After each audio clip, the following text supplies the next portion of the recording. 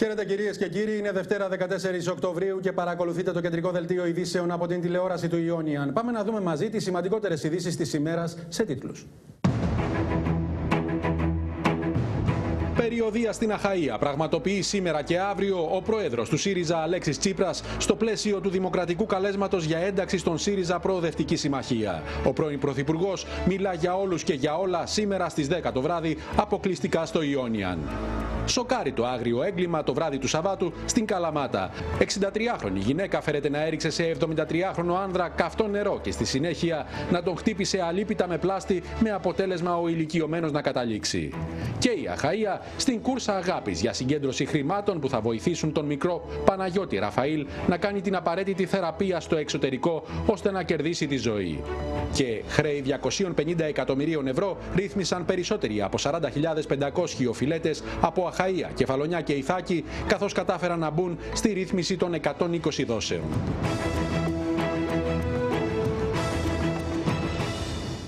Ξεκινάμε το δελτίο μας, κυρίες και κύριοι, με την πολιτική επικαιρότητα. Η Αχαία παρέμεινε προπύργιο του ΣΥΡΙΖΑ στα δύσκολα, γι' αυτό την επιλέγουμε για την εκκίνηση της διεύρυνσης του κόμματος. Με αυτά τα λόγια, ο πρόεδρος του ΣΥΡΙΖΑ, Αλέξης Τσίπρας, ξεκίνησε την περιοδία του στην Αχαία, ξεκινώντας παράλληλα και την διαδικασία διεύρυνσης της βάσης του κόμματος με την εγγραφή νέων μελών. Ο αρχηγός της αξιωματικής αντιπολίτευσης βρέθηκε το πρωί στο Αίγυο με τους κάτοικου της πόλης να τον υποδέχονται με χαμόγελα και χειροκροτήματα.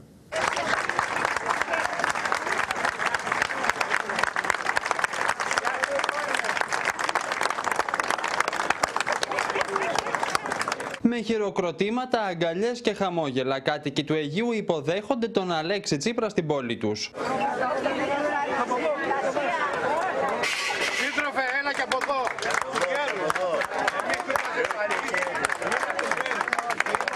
Ο πρόεδρος του ΣΥΡΙΖΑ βρέθηκε το πρωί της Δευτέρας στην πρωτεύουσα της Αιγιάλιας στο πλαίσιο της περιοδίας του στην Αχαΐα.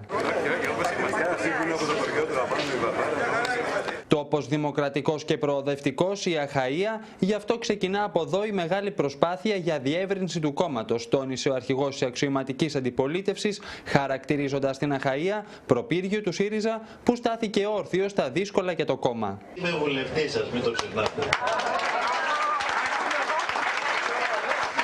Και δεν θα μπορούσα άλλωστε να μην είμαι. Με τίμησε πολλές φορές αυτός ο νομός, ο λαός της Αχαΐας ευρύτερα, με την ψήφο του και τη στήριξή του. Τη στιγμή τη δύσκολη όπου όλοι προδιαγράφανε το την ήττα, στην Αχαΐα εγώ υποψήφιος και ο Κυριάκος Μητσοτάκης υποψήφιος και κερδίσαμε κατά κράτος.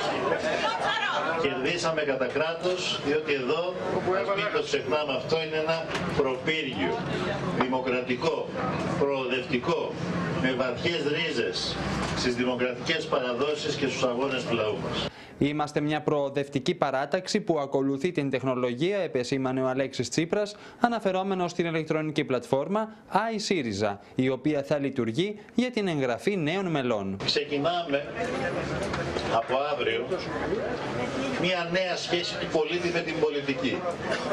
Και αυτή η νέα σχέση του πολίτη με την πολιτική έρχεται να αξιοποιήσει τις νέες τεχνολογίες. Νωρίτερα, τον αρχηγό της αξιωματικής αντιπολίτευσης υποδέχθηκε στην έκθεση Πριμαρόλια ο Δήμαρχος Αιγιάλιας Δημήτρης Καλογερόπουλος και στελέχη της Δημοτικής Αρχής, με τον Αλέξη Τσίπρα να δείχνει ιδιαίτερο ενδιαφέρον για την ιστορία της ταφίδας στο Αίγυο και να περιηγείται στους χώρους της έκθεσης. Αυτό ανήκει σε κάποιον κύριο ο οποίος το παραχώρησε ευγενώς στο Δήμο για χρήση που θα αξιοποιήσει ο ίδιος εφόσον θέλει. Και ταλαιπωρήθηκε και πολύ με την γραφειοκρατία Η πρώτη ημέρα περιοδίας του Αλέξη Τσίπρα ολοκληρώνεται με επίσκεψή του στην Τριτέα του Δήμου Ερημάνθου, ενώ την Τρίτη είναι προγραμματισμένη η επίσκεψή του σε Πάτρα και Δυτική Αχαΐα. Πολλοί σταθμοί του πρώην Πρωθυπουργού στην ευρύτερη περιοχή της Αχαία. Αυτή την ώρα βρίσκεται στην Τριτέα και στο χωριό Σκιαδάο, όπου μιλά σε κατοίκους. Στο πλαίσιο της διεύρυνσης της βάσης του κόμματος, βρέθηκε λοιπόν και στην Αχαϊκή πρωτεύουσα και μίλησε αποκλειστικά και πρώτα στο Ιόνιαν και στους δημοσιογράφους Νίκο Γιαπρακά και Γεωργία Καλαμαρά. Ο Νίκος είναι μαζί μας και θα μας δώσει λεπτομέρειες για όλα όσα συζητήσατε, Νίκο.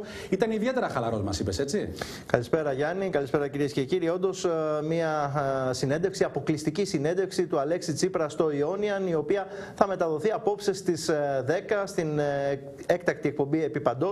Μια πολύ ενδιαφέρουσα κουβέντα, Γιάννη, με τον ε, πρόεδρο του ΣΥΡΙΖΑ, τον κύριο Αλέξη Τσίπρα, η οποία μαγνητοσκοπήθηκε πριν από λίγη ώρα στο ξενοδοχείο Μόξης στην Πάτρα, όπου ο κύριος Τσίπρας αναφέρθηκε σε πολλά ζητήματα της επικαιρότητας. Ό,τι τον τοπικής... ρωτήσατε, αν μου επιτρέπεις, απάντησε έτσι. Ακριβώς, ακριβώς σε όλα και στα δύσκολα, αλλά και στα τοπικά ζητήματα και στα θέματα ε, της ε, εθνικής επικαιρότητας, τα οποία ε, του τέθηκαν. Ιδιαίτερα καστικό ήταν μάλιστα και για το ζήτημα ε, των προσφυγικών ροών σε συνδυασμό με τα όσα συμβαίνουν με την Τουρκία και την Συρία. Ενώ να σου πω, Γιάννη, ότι ο κύριος Τσίπρας δεν μας έκρυψε ότι σκέφτεται και ο ίδιος κάποια στιγμή, ως ο κύριος πρωταγωνιστής για το πρώτο εξάμεινο της διακυβέρνησης της χώρας από τον ΣΥΡΙΖΑ, ε, μας είπε ότι σκέφτεται να γράψει ακόμα και ο ίδιος ένα βιβλίο, προκειμένου να εκθέσει και τις δικές του, την δική του εκδοχή για το τι ακριβώς έγινε εκείνους τους πρώτους κρίσιμους μήνες της διακυβέρνησης τη χώρας από τον ΣΥΡΙΖΑ. Πολλά τα ζητήματα και οι ερωτήσεις που έγιναν στον πρώην Πρωθυπουργό και βουλευτή Αχαία, εξάλλου. Το τόνισε και ο ίδιος. Αλέξη Τσίπρα, ο οποίος ε, βρέθηκε και στην Αχαϊκή πρωτεύουσα και αυτή την ώρα μιλά σε κατοίκους. Σίγουρα είναι πολλά αυτά τα οποία επικοινωνεί προς τους πολίτες. Ανέλησε και σε σένα, Νίκο, ε, και τα αίτια της ήττας, αλλά φυσικά έτσι όπως τουλάχιστον εμείς διαπιστώσαμε και από τις εικόνες, είδαμε πολύ αγάπη γύρω από τον πρώην Πρωθυπουργό και θέρμη από τον κόσμο. Κάτι το οποίο ικανοποίησε και τον ίδιο από ό,τι φάνηκε φάνηκε η ανταπόκριση του κόσμου. Αυτή την ώρα βρίσκεται στην περιοχή της Τριτέας, στο χωριό Σκιαδά, ο πρόεδρος του ΣΥΡΙΖΑ, ο οποίος, όπως είπες και εσύ, Γιάννη, έκανε την αυτοκριτική του, απαντώντας σε σχετικές ερωτήσεις για το τι έφταξε τελικά και είχε την ε, ήττα ε, στις εκλογές ε, ο ΣΥΡΙΖΑ.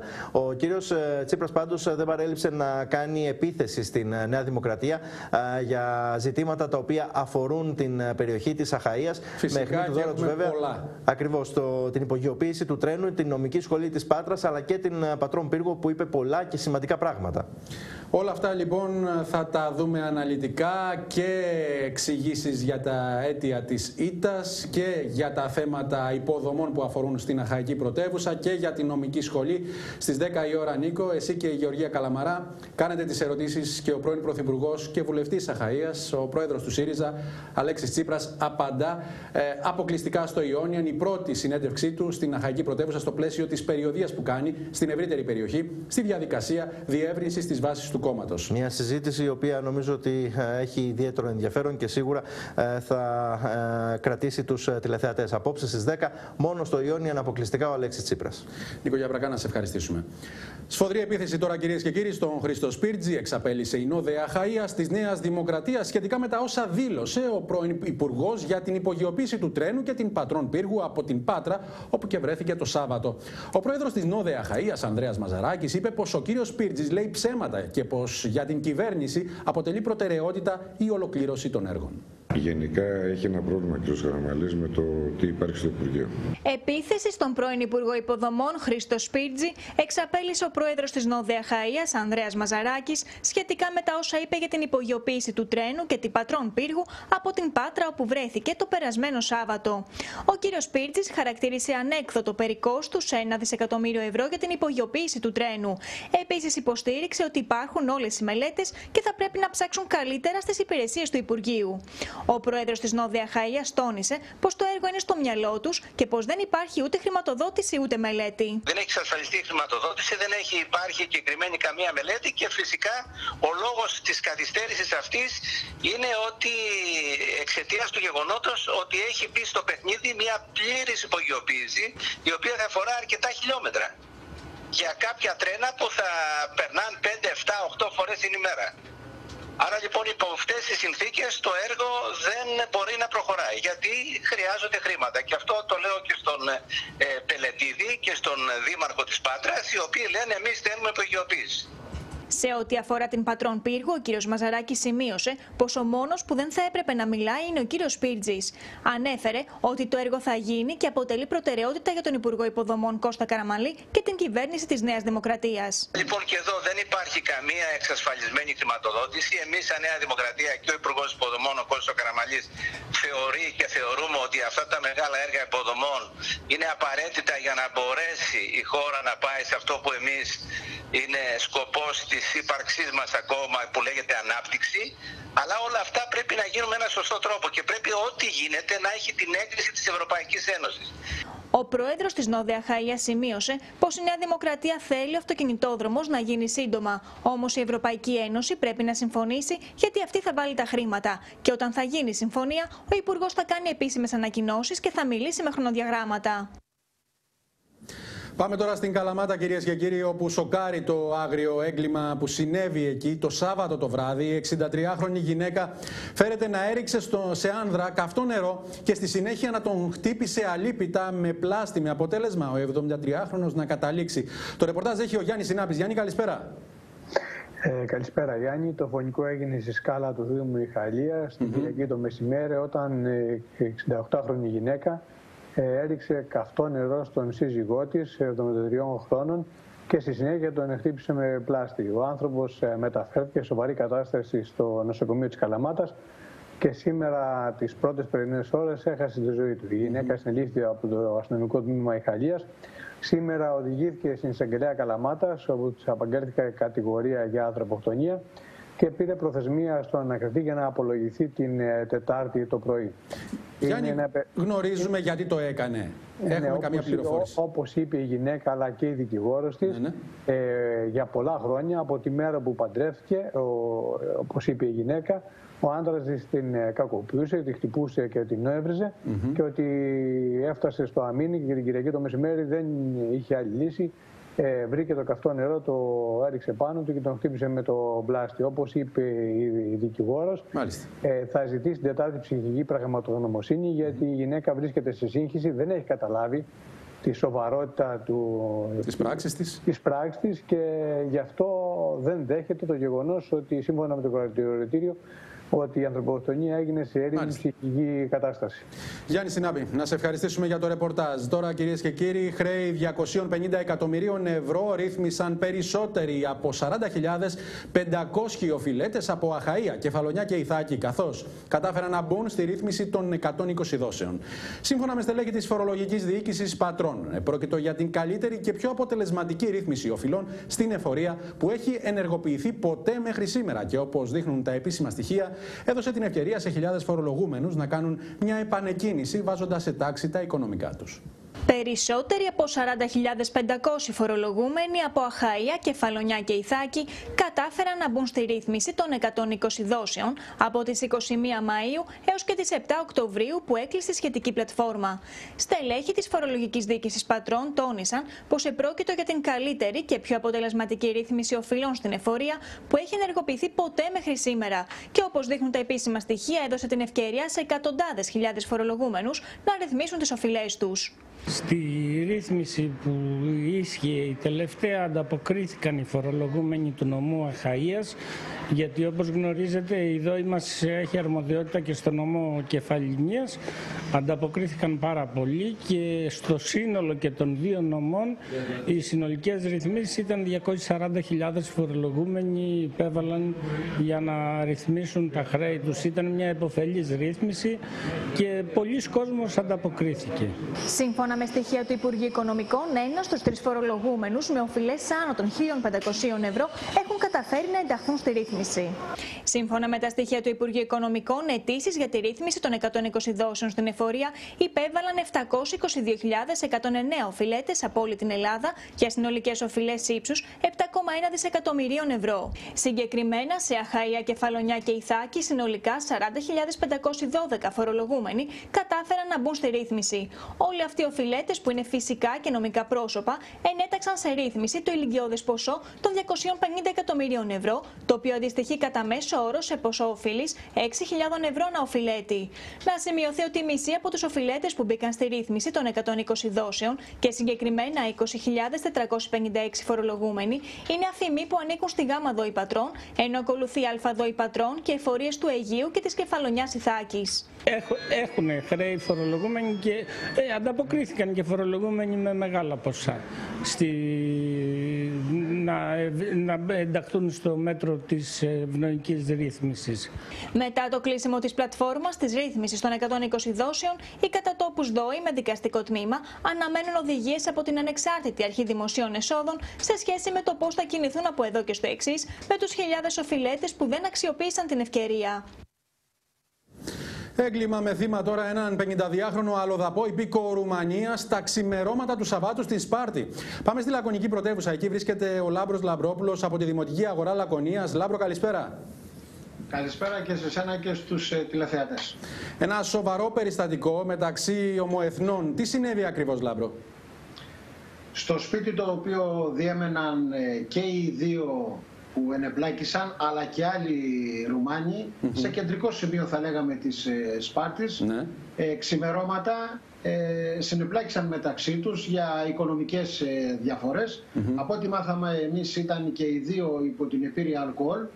Ε, τον εκτύπησε στο, στο κεφάλι, τον άφησε μόρφυτο και το πρωί που ξύπνησαν και οι άλλοι είδαν ότι είχε χάσει πλέον τη ζωή του. Ειδοποίησαν την αστυνομία, συνελήφθη ο, ο δράστης και βέβαια προανάκριση ε, διενεργεί το τμήμα ασφαλείας της, ε, της Σπάρτης. Ένα περιστατικό και μια δολοφονία για οικονομικά δεδομένα. Να αλλάξουμε θέμα. Πάμε στην πολιτική αλλά και στον πολιτισμό ταυτόχρονα, καθώς ε, γίνονται προσπάθειες για να αναβιώσει η μάχη των Θερμοπυλών, τα 2.500 χρόνια από τη μάχη των Θερμοπυλών και προς την κατεύθυνση αυτή και ο Πέτρος Δούκας ε, θα έχει συναντήσεις στην Αθήνα την Τετάρτη και οι πληροφορίες μας θέλουν ε, αρκετοί άνθρωποι, σημαίνοντες άνθρωποι, να συνηγορούν προς την κατεύθυνση αυτή. Τι ακριβώς θα συμβεί, Λάμπρο από την στιγμή που βγήκε δήμαρχος ε, Σπάρτης ο Πέτρος ε, Δούκας έβαλε στόχο ότι το 2020 αλλά και το 2021 θα γίνει πανηγυρικός εορτασμός της μάχης των Θερμοπυλών αφού κλείνουμε 2.500 χρόνια από αυτή τη μεγάλη μάχη που άλλαξε θα λέγαμε και το ρου της ιστορίας. Έτσι λοιπόν έχει αναλωθεί ε, όλο αυτό το, το διάστημα σε επαφές σε όλο τον κόσμο, όχι μόνο εδώ στην Ελλάδα και εκτός Ελλάδος, και το ευχάριστο είναι ότι την Τετάρτη το πρωί στις 10 και 4 στο Ζάπιο Μέγαρο θα συναντηθεί με τον Πρωθυπουργό και όχι μόνο. Και τον Πρόεδρο της Δημοκρατίας. Και εκεί θα ανακοινωθεί ότι η κυρία Μαρί, Μαριάννα Βαρδινογιάννη θα είναι πρόεδρος και συντονίστρια όλων αυτών των εκδηλώσεων που θα γίνουν το 2020 με μέλη τον Δήμαρχο Σπάρτης, τον Δήμαρχο Αθηνών, τον Δήμαρχο Σαλαμίνας και τον Δήμαρχο, Δήμαρχο Λαμιών και βέβαια, βέβαια τους αντίστοιχους περιφερειάρχες ε, όλης της περιοχής. Γι' αυτό λοιπόν προετοιμάζονται ε, εκδηλώσεις που θα γίνουν και το 2020 και το, και το 2021, μεγάλες εκδηλώσεις, ε, συνέδρια, διαλέξεις, ομιλίες για να φανεί το μεγαλείο της θυσίας και των 300 Σπαρτιατών, αλλά και το ότι φρέναραν τότε την Ανατολή να καταλάβει την, την Δύση. Μια μεγάλη εκδήλωση που τιμά ιδιαίτερα και την ε, Σπάρτη αλλά και γενικά την Ελλάδα. Μένεται λοιπόν η συνάντηση των ε, ανδρών και των γυναικών που θα εμπλακούν έτσι ώστε και πολιτικά να προωθηθεί το θέμα και να, έτσι υπάρχει, να είναι και υπό την αιγίδα του κράτους, να έχει και τη σχετική οικονομική στήριξη. Εξάλλου αυτή η μεγαλειώδης εκδήλωση την οποία και ο Πέτρος Δούκας θέλει να έλθει στην ε, Σπάρτη.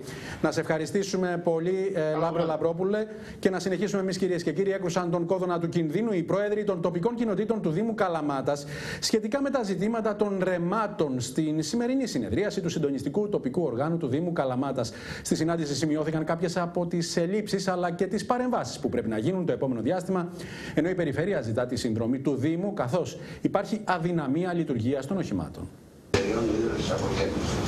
Αλλά και του συνδέσμου Συνεδρίαση του Συντονιστικού Τοπικού Οργάνου Πολιτικής Προστασίας του Δήμου Καλαμάτας πραγματοποιήθηκε με θέμα συζήτησης σχεδιασμός και δράσης πολιτικής προστασίας για τη λήψη μέτρων πρόληψης και ετοιμότητας εν ώψη της χειμερινής περίοδου 2019 με 2020.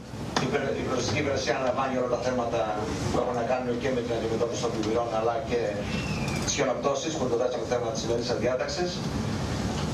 Εμείς ως Δήμος Καλαμάτας εμπλεκόμαστε σε όλα τα στάδια πολιτικής προστασίας από την, ε, από την πρόληψη που προηγείται, το μετριασμό των συνεπειών κατά τη διάρκεια του φαινομένου και βέβαια την αποκατάσταση, το τρίτο στάδιο. Γι' αυτό λοιπόν βρισκόμαστε εδώ, ώστε να καθορίσουμε το πλαίσιο που θα κινηθούμε, να επικαιροποιήσουμε τα μνημόνια ενεργειών για φυσικά φαινόμενα που έχει ο Καλαμάτας και είναι τέσσερα αυτά εδώ. Ο Δήμαρχος Καλαμάτας Θανάσης Βασιλόπουλος σημείωσε ότι ο Δήμος θα διαθέσει ό,τι χρειάζεται σε κάθε υπηρεσία ή εθελοντική ομάδα, ενώ είναι σε ετοιμότητα με κυρίαρχο ρόλο να παίζει ο σωστός συντονισμός.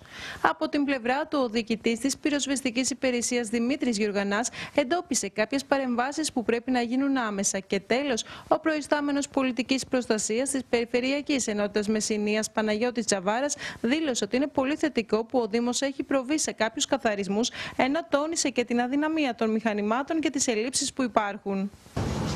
Αυτό που θέλουμε από εσάς θα τα καταγράψει εδώ αρμόδιος αντιδήμαρχος και βέβαια η κυρία Κουκούλη που είναι εδώ καταγράφει τα πάντα, ώστε θα υποθούν και να κατευθούν εδώ στις προτάσεις. Εμείς θέλουμε και από τους ε, συλλόγου που είναι εδώ, του συλλόγου, να μας καταθέσουν τι, τι, τι χρειάζονται ως εξοπλισμό από εμάς, ώστε να κινηθούμε άμεσα. Κύριε Δήμαρχε, εμείς βρισκόμαστε σε διανύμα την τελική περίοδο, τελειώνουμε 31 Οκτώβρη. Ε, ήδη έχουμε επικαιροποιήσει τα σχέδιά μας πλημμυρών και χρηματώσεων. Ε, με τους, έχουμε βάλει τα καινούργια δεδομένα, με τους καινούριου δημοτικούς συμβούλους, με τους καινούριου προέδρους, με τους καινούριου αντιδημάρχου, οπότε να έχουμε μια ετοιμότητα. Ε, ανάλογα με την ένταση και την έκταση του φαινομένου που θα εκδηλωθεί, η υπηρεσία μας τίθεται σε επιφυλακή, δημιουργούνται μικρά συνεργεία όταν έχουμε να κάνουμε με πλημμύρες, με δύο άτομα τα οποία ε, με, τα, με τα οχήματα που έχουμε και με τις απαιτητικέ μηχανές θα μπορέσουμε να αντιμετωπίσουμε ε, περισσότερα περιστατικά. Στη συνεδρίαση έλαβαν μέρος αιρετοί και υπηρεσιακοί παράγοντες του Δήμου Καλαμάτα, καθώς και εκπρόσωποι υπηρεσιών και φορέων που είχαν προσκληθεί. Τα συμπεράσματα που συνήχθησαν θα οδηγήσουν όλους στο επόμενο χρονικό διάστημα να κάνουν τις απαραίτητες παρεμβάσεις και να είναι σε ετοιμότητα για τη θωράκιση του Δήμου. Ληστές τώρα μπήκαν μέσα σε πρατήριο υγρών καυσίμων στην Εθνική Οδό Κορίνθου Τρυπόλεως και επειδή δεν μπορούσαν να ανοίξουν το χρηματοκιβώτιο, το πήραν μαζί τους. Το ρεπορτάζ έχει η Εύα Στράτη. Εύα, καλησπέρα. Καλησπέρα Γιάννη κυρίες και κύριοι. Ληστεία λοιπόν σημειώθηκε σήμερα το πρωί σε βενζινάδικο στην Κορίνθου Τρυπόλεως, ε, στο Σπαθοβούνι. Πέντε άτομα που φορούσαν κουκούλες με την απειλή όπλου μπήκαν μέσα σε ένα βενζινάδικο, ακινητοποίησαν τον υπάλληλο, άρπαξαν το χρηματοκιβώτιο, το έβαλαν μέσα σε ένα κλεμμένο όχημα ναι. και τράπηκαν ε, σε φυγή. Έγιναν όμως αντιληπτοί από αστυνομικούς και τότε ξεκίνησε μια καταδίωξη. Ε, ο οδηγός του κλεμμένου αυτοκινήτου έχασε τον έλεγχο στο ύψος της χασιά και οι ληστέ τότε το ακινητοποίησαν, το εγκατέλειψαν και άρχισαν να τρέχουν ε, προς το δάσος. Συνελήφθη ο ένας από αυτούς τραυματισμένος και αποκαλύφθηκε ότι πρόκειται για σεσημασμένο κακοποιό. Ε, στο εσωτερικό του αυτοκίνητου εντοπίστηκε και το χρηματοκιβώτιο, το οποίο δεν είχαν προλάβει να ανοίξουν. Γι' αυτό και πήραν μαζί τους προφανώς για να το ανοίξουν στη συνέχεια. Ο τραυματίας μεταφέρθηκε στο νοσοκομείο και αναζητούνται και άλλοι τέσσερις ε, συνεργοί τους.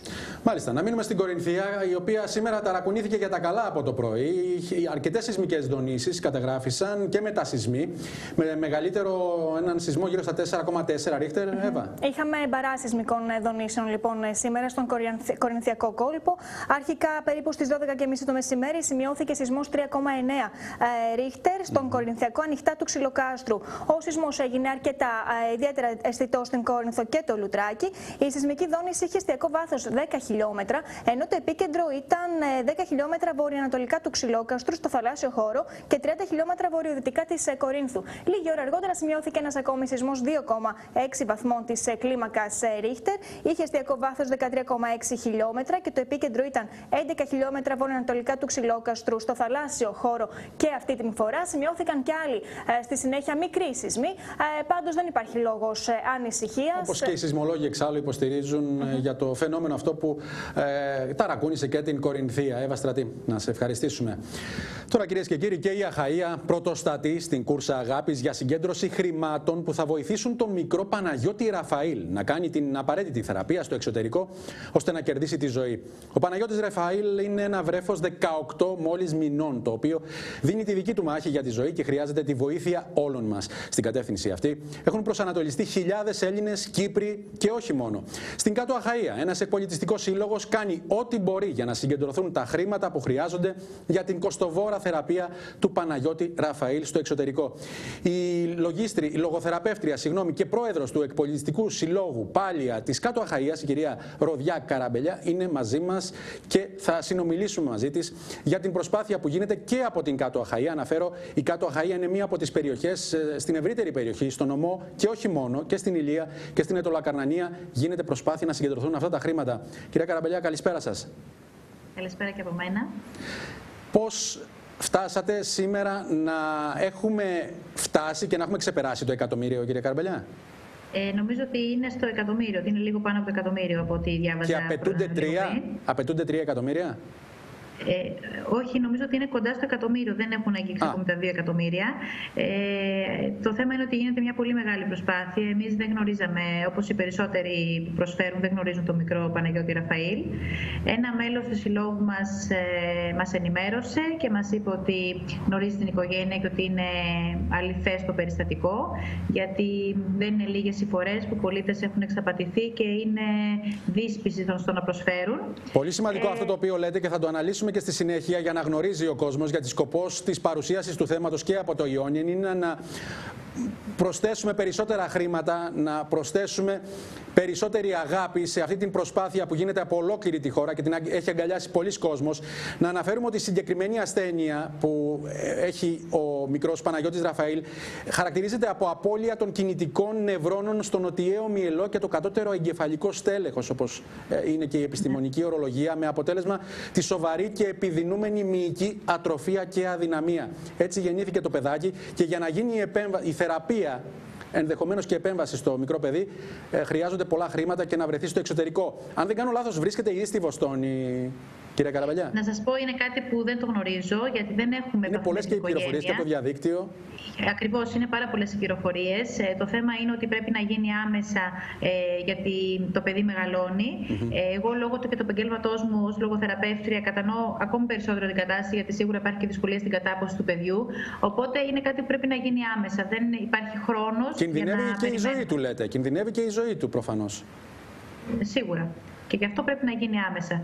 Ε, εγώ αυτό που, όπως σας προείπα και πριν, ε, είναι ότι πρέπει να, βοηθήσουμε όλοι. Συνήθως, ε, όταν δεν μας αγγίζει κάτι, είμαστε απόμακροι. Λέμε ότι στη δικιά μου οικογένεια δεν θα συμβεί ποτέ. Ξέρετε κάτι, Πιστεύω... ίσως πρέπει να σταθούμε λίγο περισσότερο και με συγχωρείτε που σας διακόπτω, στο γεγονός ότι έχει αναζητηθεί η ορθότητα όλων όσων συμβαίνουν σε αυτό το μικρό παιδί για να το αναφέρουμε αυτό, καθώς θα πρέπει να το γνωρίζει ο κόσμος ότι δεν κινδυνεύει να χάσει τα χρήματά του εάν συνεισφέρει σε, αυτό, σε αυτή την προσπάθεια.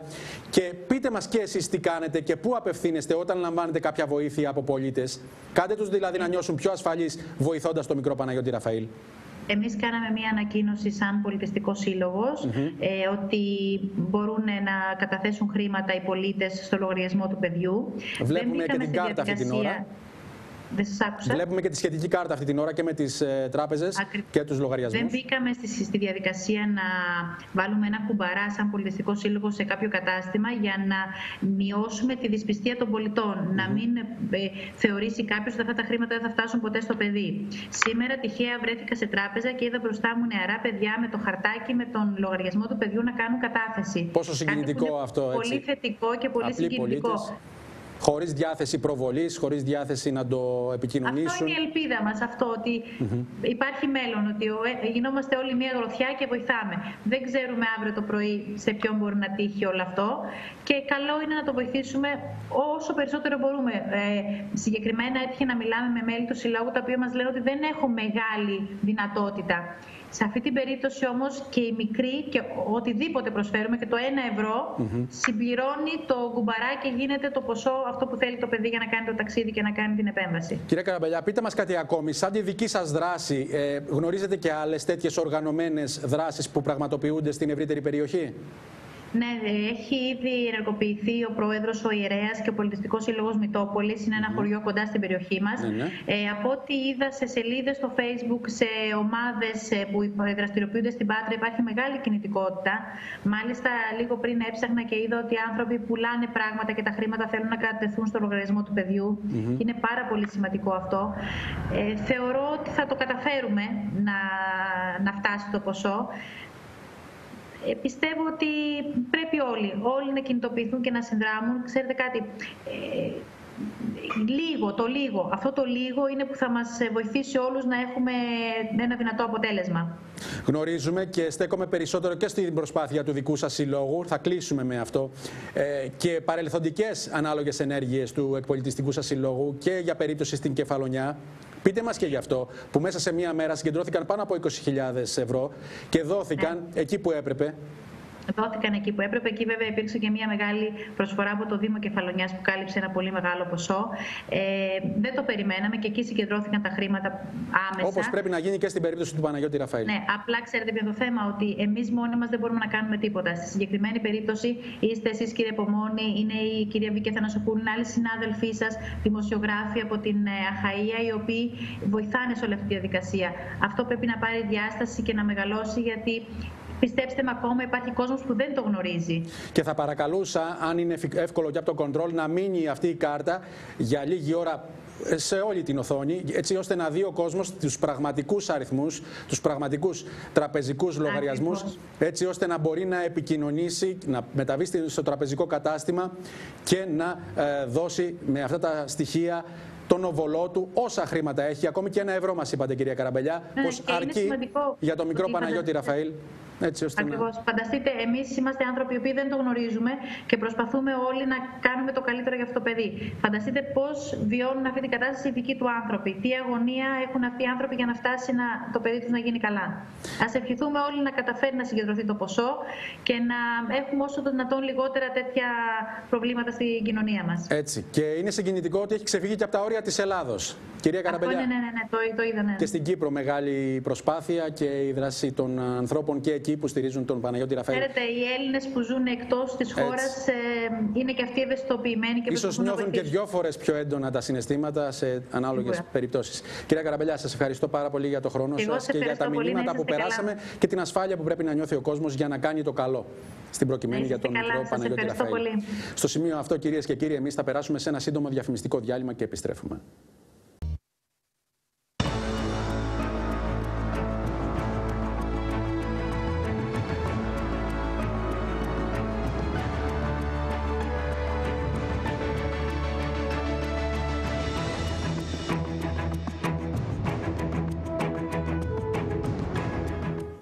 Επιστροφή στο δελτίο μας, κυρίες και κύριοι, και πάμε στην Ηλία. Ένα σοβαρό περιστατικό σε βάρος νοσηλεύτριας καταγράφηκε το απόγευμα του Σαββάτου στην παθολογική κλινική του νοσοκομείου του Πύργου. Ο Περικλής Πατσούρης έχει το ρεπορτάζ. Περικλή, καλησπέρα. Καλησπέρα, Γιάννη, καλησπέρα στους Τι έγινε ακριβώς; Για άλλη μια φορά, Γιάννη, συμβαίνει αυτό. Απλώς αυτή τη φορά τα πράγματα ήταν αρκετά πιο δύσκολα από τις προηγούμενες φορές που έχουν γίνει κατ' επανάληψη, ειδικότερα στο τμήμα επιγόντων περιστατικών. Mm -hmm. Αυτή τη φορά στην παθολογική, ε, απόγευμα Σαββάτου, δεν είχε υπομονή άλλο πλέον ηλικιωμένος, ήθελε να φύγει γρήγορα από το νοσοκομείο. Ε, είχε ενημερωθεί ότι θα πρέπει να βγάλουν τον νερό, την πεταλούδα γενικότερα από το χέρι της συνοδού. Άρα τα πράγματα είχαν δυσκολέψει αρκετά και μόλις είδε μία κοπέλα από τι δύο νοσοκόμε, μάλλον η μία νοσοκόμα να μιλάει στο τηλέφωνο, νόμιζε ότι ε, κοιτάει διάφορα social media και όχι μόνο, δεν μιλάει στο τηλέφωνο. Άρα λοιπόν ε, ξαπέλυσε επίθεση, έπιασε μία α, εκ των δύο από το λαιμό και βέβαια χρειάστηκε η επέμβαση των παρεμπισκομένων εκεί, αλλά και γενικότερα της security που έφτασε από την πρώτη στιγμή. Καταλαβαίνουμε ότι από την πρώτη στιγμή εκεί, όταν άναψε τα αίματα, τα πράγματα ήταν αρκετά δύσκολα και ήδη εξέδωσε ανακοίνωση και η, η, η Ένωση Νοσοκομιακών Υπαλλήλων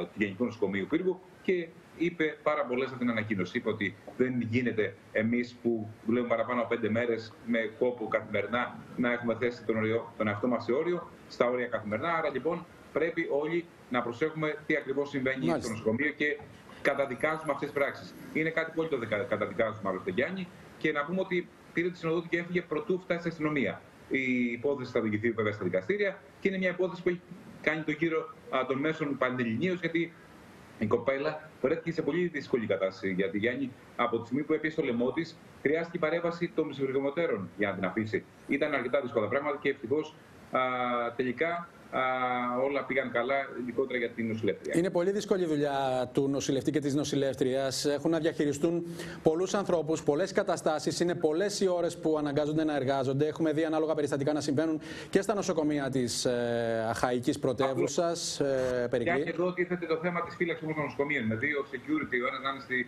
στην πύλη και ένας να είναι σε ένα τετραόροφο νοσοκομείο. Ε, Προφανώς δεν μπορεί να επέμβει σε ένα περιστατικό, ένα σε ένα θάλαμο. Που Έτσι ακριβώς. Είναι το Γενικό Νοσοκομείο Πύργου που εξυπηρετεί βέβαια γενικότερα όλο τον νομό, γιατί έχουμε δει τι έχει γίνει στην ε, Αμαλιάδα αλλά και στην Κρέστανα. Άρα λοιπόν καταλαβαίνουμε το τι γίνεται στην καθημερινή βάση και στην παθολογική, ειδικότερα με αυτές τις ιώσεις που γίνεται το έργο να δεις.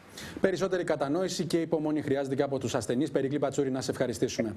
Και μπορεί το Σαββατοκύριακο που πέρασε ο τρίτος διεθνής διαγωνισμός και φεστιβάλ χορεδιών να ολοκληρώθηκε. Ωστόσο, τα ωφέλη του που άφησε στην Μεσσηνιακή πρωτεύουσα είναι πολλά, με κυρίαρχα την προβολή της Καλαμάτας σε όλο τον κόσμο, αλλά και την οικονομική ανάπτυξη της περιοχής σε μια νεκρή τουριστική σεζόν.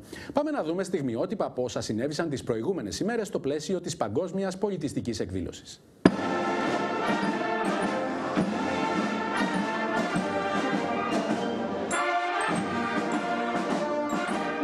Συμμετοχή 37 χοροδιών, 19 από τις οποίες προέρχονταν από κράτη του εξωτερικού και 18 από την Ελλάδα, ολοκληρώθηκε με επιτυχία ο τρίτος Διεθνής Διαγωνισμός και Φεστιβάλ Χοροδιών Καλαμάτας που διοργάνωσαν ο Δήμος Καλαμάτας και ο Διεθνής Πολιτιστικός Οργανισμός Interculture. Είμαι ευτυχής που είμαι απόψε μαζί σας. Είμαι ειλικρινά ευτυχής γιατί συνεργαστήκαμε άριστα με την Interculture. Θυμάμαι τον αγαπημένο μας Κρίστιαν Γιούγκεν, το μεγάλο φίλο της Καλαμάτας που ξεκίνησε αυτή τη σπουδαία εκδήλωση.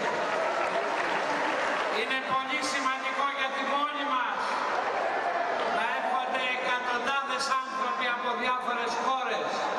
Τους χαιρετίζω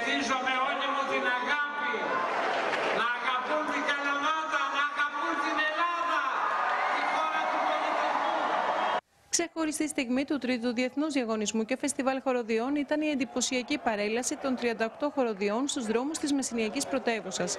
Εκατοντάδες χοροδοί από διάφορες χώρες του κόσμου δημιούργησαν το απόγευμα του Σαββάτου μια πολύ όμορφη ατμόσφαιρα με χρώματα και ήχου στο κέντρο της πόλης, με την ενεργή συμμετοχή και το χειροκρότημα των πολιτών που παρακολούθησαν την εκδήλωση.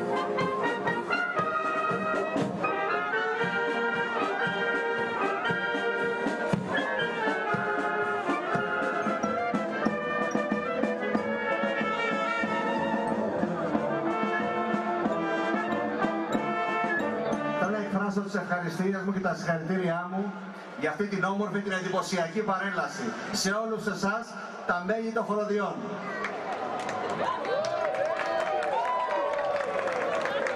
Μετά από τόσες ώρες διαγωνιστικών διαδικασιών, μετά από τόσες μέρες μάλλον διαγωνιστικών διαδικασιών, έφτασε η ώρα να είμαστε εδώ όλοι μαζί, να σας χειροκροτήσουμε και να σας ευχαριστήσουμε για τις όμορφες στιγμές που περάσαμε. Το βράδυ του Σαββάτου πραγματοποιήθηκε η τελετή βραβεύσεων στο κλειστό γυμναστήριο της Στέντα, στην οποία η Διεθνής Κριτική Επιτροπή απένει με 28 χρυσά, 14 σημαίνια και 2 χάλκινα διπλώματα στις χοροδίες που ξεχώρισαν κατά τη διάρκεια του φεστιβάλ. And the grand prize goes to.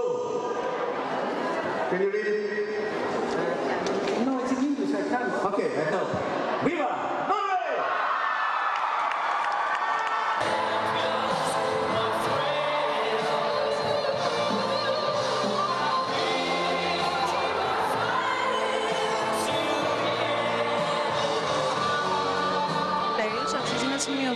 σημειωθεί ότι τι ημέρε αυτές στο ιστορικό κέντρο αλλά και στην παραλία της Μεσσηνιακή πρωτεύουσα επικράτησε το αδιαχώρητο από την κίνηση που έφερε στην πόλη ο τρίτος Διεθνής Διαγωνισμός και Φεστιβάλ Χοροδιών. Η συγκεκριμένη διοργάνωση έγινε για τρίτη χρονιά στην Καλαμάτα και όπως όλα δείχνουν, έχει ελπιδοφόρο μέλλον στα ίχνη του Διεθνούς Φεστιβάλ Χορού, ενώ σημαντική ήταν η προβολή της Μεσσηνίας αλλά και η οικονομική τόνωση της αγοράς σε μια περίοδο που δεν είναι τουριστική. Ανοιχτή επιστολή του Μητροπολίτη Ζάμπια Ιωάννη για τον άταφο ιερέα, τον κύριο Σκαρτσί.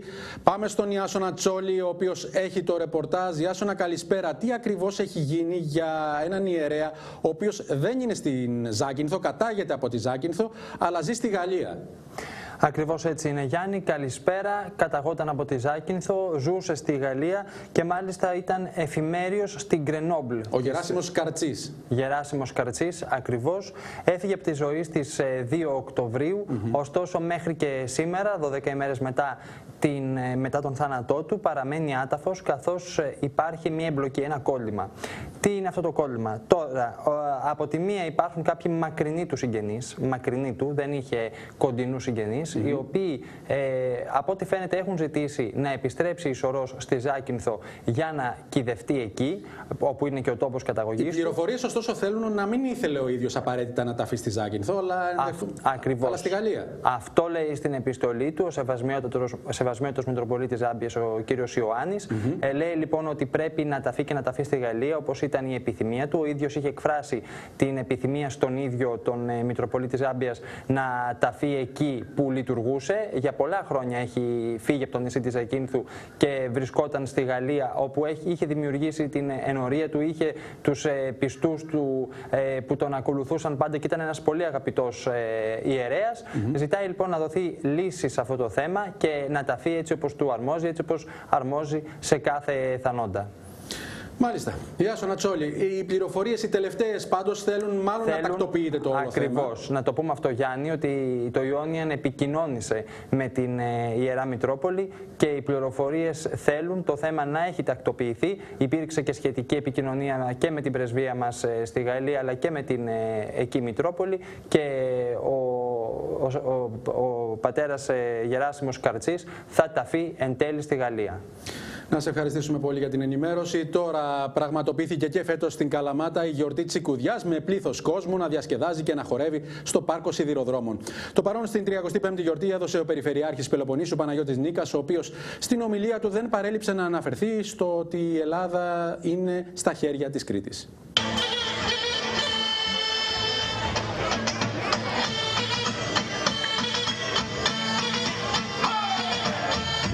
Κόσμου βρέθηκε στη γιορτή Τσικουδιά που διοργάνωσε ο Σύλλογος Κρητών Μεσηνία ο Ψιλορίτης στο χώρο του Πατινάς του Πάρκου Σιδηροδρόμων Καλαμάτας. Πρόκειται για μια γιορτή θεσμό, καθώς πραγματοποιείται κάθε χρόνο 35 συνεχή έτη. Θέλω να δώσω τα θερμά μου συγχαρητήρια στο Σύλλογο των Κρητών. Θεωρώ ότι είναι ο καλύτερος σύλλογος πολιτιστικός στην πόλη της Καλαμάτας. Έχει φέρει εδώ τη δύναμη της Κρήτης, την ιστορία της Κρήτης, της- την παράδοση της Κρήτης και τον ευχαριστούμε για ό,τι κάνει ειλικρινά. Χαίρομαι για την παρουσία του κ. Κοντορού. Ενός ανθρώπου ο οποίος συμβολίζει την παράδοση της Κρήτης στο τραγούδι τον οποίο γνωρίζει όλη η Ελλάδα για τις προσπάθειες που κάνει σε αυτό το τομέα. Και ειλικρινά χαίρομαι γιατί είναι και δικός μου φίλος εδώ και καιρό. Και να μην ξεχνάτε ότι η Ελλάδα σήμερα είναι στα χέρια της Κρήτης.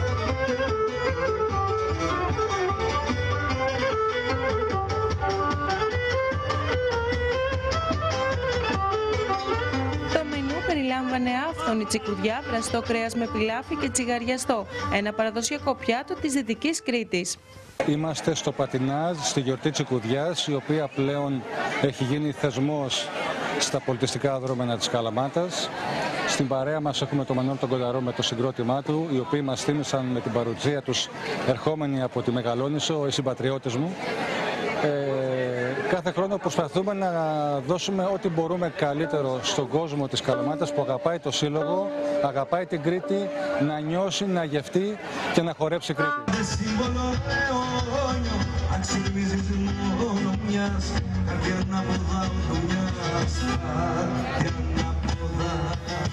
μουσική της καθιερωμένης πλέον εκδήλωσης ανέλαβε ο Μανώλης Κονταρός με το λαούτο του, ερμηνεύοντας μαζί με το συγκρότημά του τραγούδια δικά του και άλλων σπουδαίων μουσικών από την Κρήτη. Εθελοντές τώρα καθάρισαν την παραλία Ναυάγιο στη Ζάκυνθο και έστειλαν ένα ηχηρό μήνυμα για την ανάγκη προστασίας του περιβάλλοντος. Μετά την προσπάθειά τους μάλιστα και αφού είχαν συγκεντρώσει τα σκουπίδια από την ακτή αλλά και το βυθό, χόρεψαν σιρτάκι κλείνοντας με τον καλύτερο τρόπο τη δράση τους.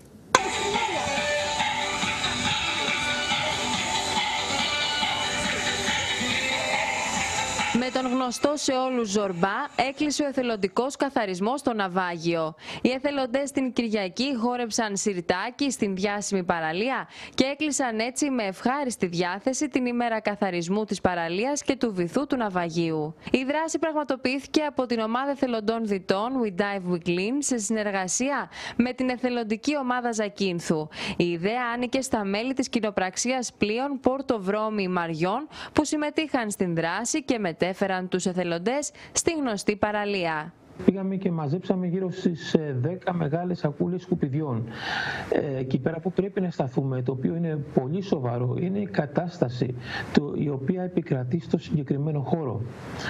Ε, αυτό που είδαμε εμείς ε, δυστυχώς είναι κάτι το οποίο μας λύπησε πάρα πολύ και προσπαθήσαμε, και προσπαθούσαμε, προσπαθούσαμε με, κάποιο, με οποιοδήποτε τρόπο να δώσουμε έναν άλλο τόνο γι' αυτό κάναμε αυτό που βλέπετε. Το κτέλ Ζακίνθου έβαλε λεωφορείο το οποίο μετέφερε δωρεάν όσους εθελοντές θέλησαν να περάσουν ένα διαφορετικό κυριακάτικο πρωινό συνδυάζοντάς το με καθαρισμό στην παραλία του Ναυαγίου και μπάνιο στην μαγευτική θάλασσα.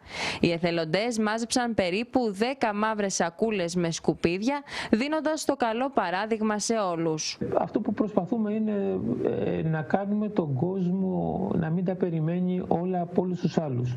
Αυτή εδώ η δράση την οποία βλέπουμε αυτή τη στιγμή ήταν η ιδέα άλλων. Εμείς απλά πήγαμε και βοηθήσαμε. Η εθελοντική ομάδα διτών We Dive We Clean από την Αθήνα ήρθε για δεύτερη φορά στο νησί και συνεργάστηκε και με δίτες του καταδυτικού πάρκου Divers Paradise για τον καθαρισμό του βυθού. Όσοι συμμετείχαν στη δράση έδειξαν πως οι καθαρισμοί μπορούν να έχουν και έναν χαλαρό και διασκεδαστικό χαρακτήρα και ανανέωσαν το ραντεβού τους για την επόμενη δράση. Συγκινητική εκδήλωση του εργαστηρίου Παναγία Ελεούσα που πραγματοποιήθηκε στην Ιερά Πόλη Μεσολογγίου. Στην εκδήλωση, όπου εκτός των άλλων παρουσιάστηκε το βιβλίο Λεύκομα για τα 30 χρόνια πορείας του εργαστηρίου, έδωσαν το παρόν εκπρόσωποι αρχών, φορέων της ευρύτερης περιοχής και πλήθος κόσμου που αναγνωρίζει και στηρίζει την εκπαίδευση ατόμων με νοητική υστέρηση και συνοδές αναπηρίες.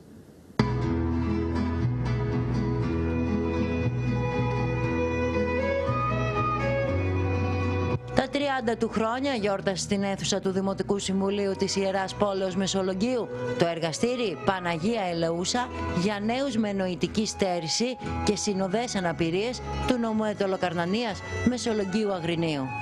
Θα ήθελα με τη σειρά μου να σας ευχαριστήσω για την παρουσία σας στον εορτασμό για τα 30 χρόνια ενεργούς προσφοράς του εργαστηρίου Παναγία Ελεούσα στον ευαίσθητο πληθυσμό των ατόμων με νοητική στέρηση και συνοδές αναπηρίες. Εκπρόσωποι αρχών φορέων της ευρύτερης περιοχής της Ετώλα Καρνανίας και πλήθος κόσμου έδωσαν το παρόν σε μια συγκινητική εκδήλωση μέσα σε μια ζεστή και φιλική ατμόσφαιρα που όλοι μαζί γιόρτασαν για τα 30 χρόνια ανιδιοτελούς προσφοράς, συλλογικής εργασίας, εθελοντισμού και αγάπης στον ευαίσθητο και δύσκολο τομέα της εκπαίδευσης των ατόμων με νοητική υστέρηση και συνοδές αναπηρίες.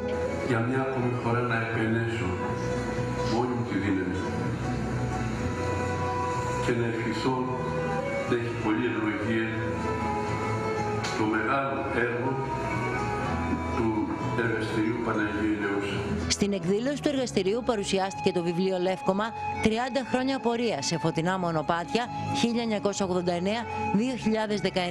1989-2019 μια αληθινή ιστορία που συνέγραψε η ιδρύτρια και επίτιμη πρόεδρος της Παναγίας Ελεούσας Μαρία Τσούτσου. Πώς να χαρείς αν δεν χαίρονται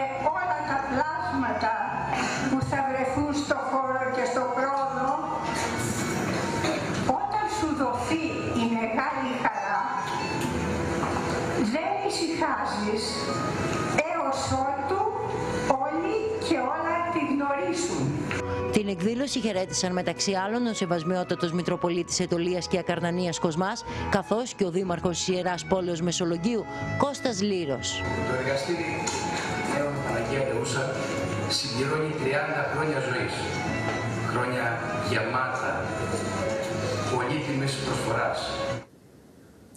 Φιλανθρωπική εκδήλωση από τον Ιερό Ναό Αγία Ειρήνη πραγματοποιήθηκε στη Νέα Κίο με τη συμμετοχή πλήθους κόσμου. Στην εκδήλωση πραγματοποιήθηκε ομιλία με θέμα η Παναγία στην Ορθόδοξη Εκκλησία, ενώ η βραδιά έκλεισε με μικρασιατικά τραγούδια. Μια ενδιαφέρουσα εκδήλωση πραγματοποιήθηκε στη Νέα Κίο στην Αργολίδα από τον Ιερό Ναό της Αγίας Ειρήνης. Μετά τον Εσπερινό πραγματοποιήθηκε ομιλία με θέμα η Παναγία στην Ορθόδοξη Εκκλησία.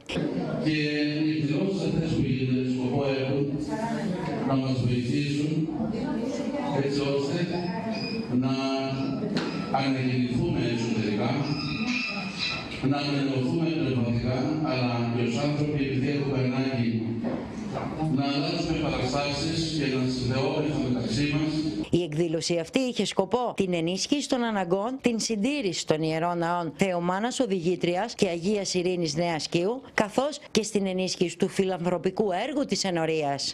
Ο παραλληλισμός της Παραθένου Μαρίας με την Εκκλησία συναντιέται από πολύ νωρίς στην Εκκλησιαστική Γραμματεία.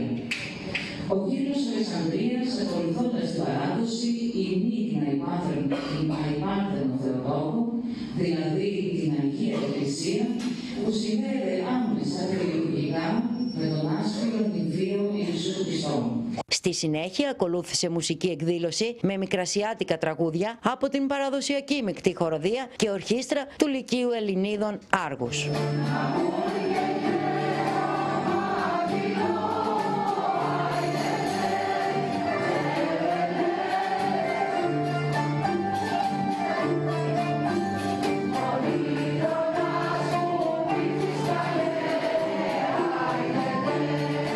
Εκδήλωση προσφέρθηκαν εδέσματα που είχαν ετοιμάσει οι κυρίες της Ενοριακής Επιτροπής της Αγίας Ειρήνης. Αυτές, κυρίες και κύριοι, ήταν οι ειδήσεις της ημέρας, έτσι όπως τις κατέγραψαν οι κάμερες και οι δημοσιογράφοι του Ιόνιαν. Μείνετε μαζί μας και μην χάσετε στις 10 την αποκλειστική συνέντευξη στο Ιόνιαν και τον Νίκο Γιαπρακά και τη Γεωργία Καλαμαρά του πρώην Πρωθυπουργού Αλέξη Τσίπρα, ο οποίος μιλά για διεθνή ζητήματα, για εθνικά ζητήματα, αλλά και για θέματα που αφορούν αμυγός στο νομό Αχαία. Από όλους όσους εργάστηκαν, δημοσιογράφους και τεχνικούς, ευχές για ένα όμορφο βράδυ.